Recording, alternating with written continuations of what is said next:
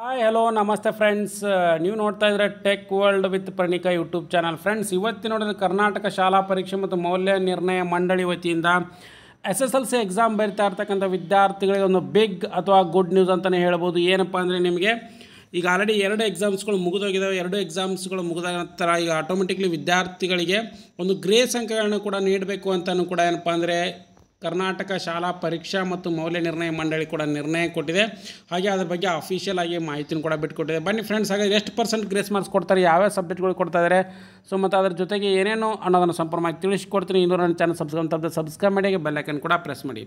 Friends ನಿಮಗೆಲ್ಲ ಗೊತ್ತಿರೋಂಗೆ ಏನಪ್ಪ ಅಂದರೆ ಕರ್ನಾಟಕ ಶಾಲಾ ಮೌಲ್ಯ ಪರೀಕ್ಷಾ ಮಂಡಳಿ ಹಾಗೂ ಮೌಲ್ಯ ನಿರ್ಣಯ ಮಂಡಳಿ ವತಿಯಿಂದ ಶೇಕಡ ಹತ್ತು ಕೃಪಾಂಕಕ್ಕೆ ತೀರ್ಮಾನ ನಿರೀಕ್ಷೆಯಂತೆ ಈ ವರ್ಷವೂ ಕೂಡ ಎಸ್ ಎಸ್ ಎಲ್ ಸಿ ವಿದ್ಯಾರ್ಥಿಗಳಿಗೆ ಶೇಕಡ ಹತ್ತರಷ್ಟು ಕೃಪಾನ ನೀಡಲಿಕ್ಕೆ ಶಾಲಾ ಪರೀಕ್ಷೆ ಮತ್ತು ಮೌಲ್ಯ ನಿರ್ಣಯ ಮಂಡಳಿ ಕೂಡ ನಿರ್ಧರಿಸಿದೆ.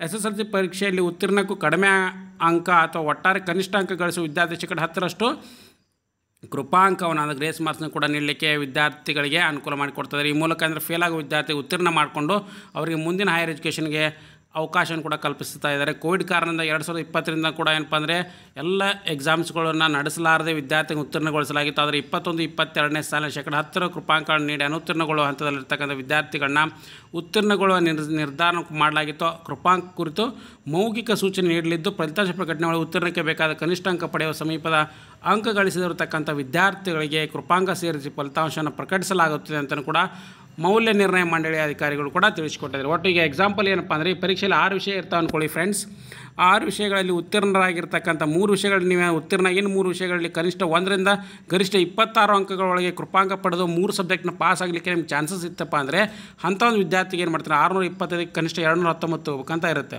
ಸಪೋಸ್ ಏನಾದರೂ ನಿಮ್ಗೆ ಏನಪ್ಪ ಒಂದೂರು ಅಂಕಗಳ ವಿಷಯಕ್ಕೆ ಎಂಬತ್ತು ಅಂಕಕ್ಕೆ ಲಿಖಿತ ಪರೀಕ್ಷೆ, ಇಪ್ಪತ್ತು ಅಂಕ ಮೌಖಿಕ ಪರೀಕ್ಷೆ ಇತ್ತಂದರೆ ಎಂಬತ್ತು ಅಂಕಕ್ಕೆ ಕನಿಷ್ಠ ಇಪ್ಪತ್ತೆಂಟು ಅಂಕ ಪಡ್ಕೋಬೇಕು ಅನ್ನೋ ಒಂದು ಕಾನ್ಸೆಪ್ಟ್ ಕೂಡ ಇರ್ತದೆ ಆದರೆ ಕೆಲವು ವಿದ್ಯಾರ್ಥಿ ಕೆಲವು ವಿಷಯದಲ್ಲಿ ಇಪ್ಪತ್ತೆಂಟಕ್ಕಿಂತ ಜಾಸ್ತಿ ಐವತ್ತು, ಅರವತ್ತು ತೊಗೊಂಡಿರ್ತಾರೆ. ಇನ್ನು ಕೆಲವು ಸಬ್ಜೆಕ್ಟಲ್ಲಿ ಕಡಿಮೆ ಅಂಕ ತೊಗೊಂಡಿರ್ತಾರೆ.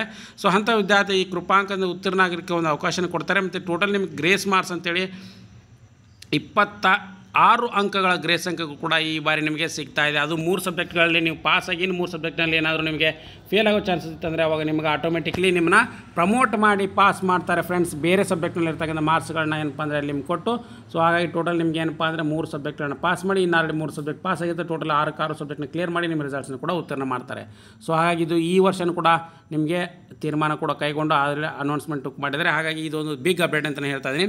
ವಿದ್ಯಾರ್ಥಿಗಳಿಂದ ಅನುಕೂಲ ಆಗುತ್ತೆ ಮತ್ತು ಅದ್ರ ಜೊತೆಗೆ ಇವೆಲ್ಲ ಲೇಟೆಸ್ಟ್ ಇಂಥವೆಲ್ಲ ಲೇಟೆಸ್ಟ್ ಆಗಿರ್ತಕ್ಕಂಥ ಅಪ್ಡೇಟ್ಗೋಸ್ಕರ ಚಾನಲ್ ತಂದು ಸಬ್ಸ್ಕ್ರೈಬ್ ಮಾಡಿ ಹಾಗೆ ಬೆಲ್ ಐಕನ್ ಕೂಡ ಪ್ರೆಸ್ ಮಾಡಿ. And finally thanks for watching the video